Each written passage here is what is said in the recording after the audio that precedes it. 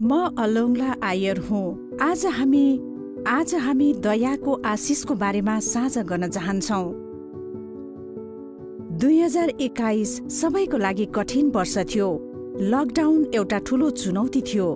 खास गरी ती गरिब व्यक्तिहरूका लागि जो बडो मुस्किलले खाना जुटाउन सक्थे।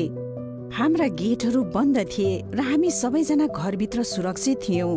दयाको विचार सायद हाम्रो दिमागमा कहीँ थिँदै थिएन।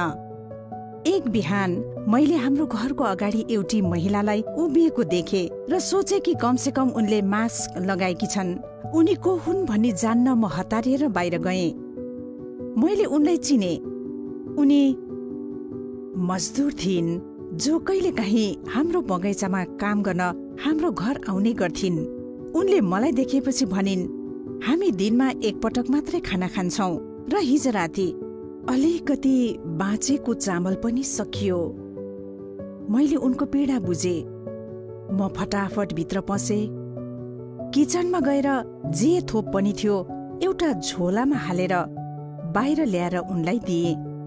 केही महिनापछि जब लकडाउन अलिक हटाइयो उनलाई मैले फेरि मेरो घर बाहिर देखे। तर यसपटक उनको अनुहारमा मुस्कान र कृतज्ञता थियो। उनले भनिन् आन्टी तपाईँले हाम्रो परिवारलाई बचाउनुभयो। मेरी दुईटी छोरी मेरा पति र म सायद भोकले मर्ने थियौं होला। ती शब्दले मेरो मनलाई छोयो। र मैले सोचे कि कति पटक यस्तो हुन्छ कि हामी अरूले भोगेको दुःख महसुस गर्दैनौ।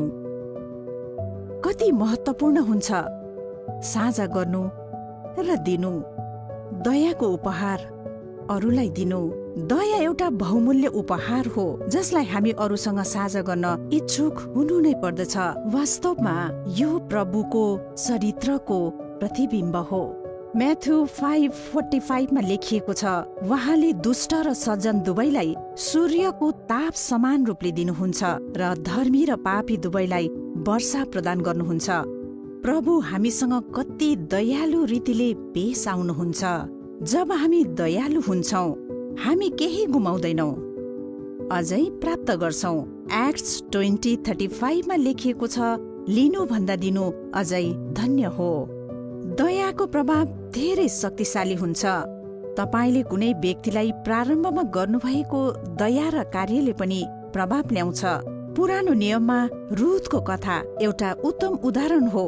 उनले आफ्नी सासु नियोमीलाई एक्लो छाड्न स्वीकार गरिनन्। त्यसैले उनले आफ्नी सासुको पछि जाने निर्णय गरिन् र सँगै मोआब छाडेर बेथलेम गएर बसोबास गर्न थालिन्। फसल काट्ने समयमा उनी अरूको खेतमा बचेका अन्नहरू जमा गर्न जान्थिन् ताकि उनको सासु र उनको जीवन निर्वाह हुन सकोस्।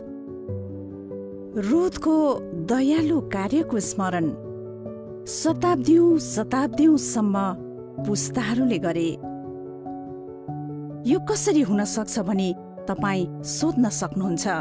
रुथले बोअससँग विवाह गरिन् जो नियोमीका नातेदार थिए। उनले एउटा छोरो जन्माइन् जसको नाम ओबेट थियो जो हजुरबाबा बने राजा दाबुदका र दाबुद महान पुर्खा हुनुहुन्थ्यो। प्रभु येशुको यो संसारका मुक्तिदाता हुनुहुन्छ। हामीले पनि रुथले गरेको त्यस दयालु कार्यको आनन्द र लाभ उठाउँदैछौ जो उनले हजारौं वर्ष पहिले गरेकी थिइन्। दयाको आशीर्वाद हजार गुणामा फैलिन्छ र यही दयाको रहस्य हो। यसबाहेक भलाइले सधैँ तपाईँको अनुगमन गरिरहेको हुन्छ।